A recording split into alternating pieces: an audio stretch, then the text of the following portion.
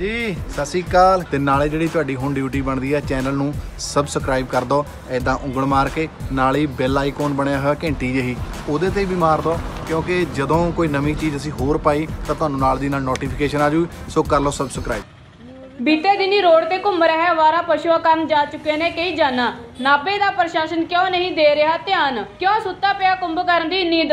Road ਤੇ ਘੁੰਮ ਰਹੇ ਅਵਾਰਾ ਪਸ਼ੂ ਦੇ ਰਹੇ ਨੇ ਵੱਡੇ ਹਾਸਿਆਂ ਨੂੰ ਸੱਦਾ।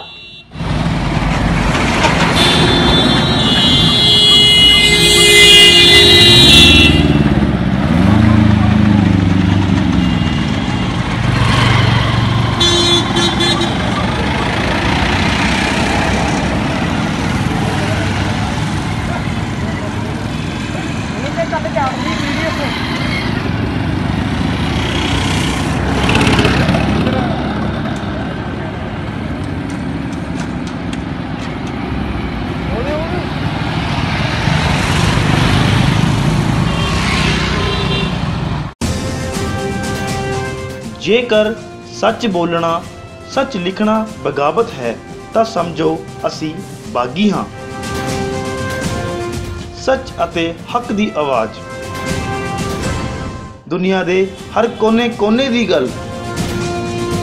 ਪੰਜਾਬ ਟੀਵੀ ਕਰੇਗਾ ਸੱਚ ਦਾ ਖੁਲਾਸਾ।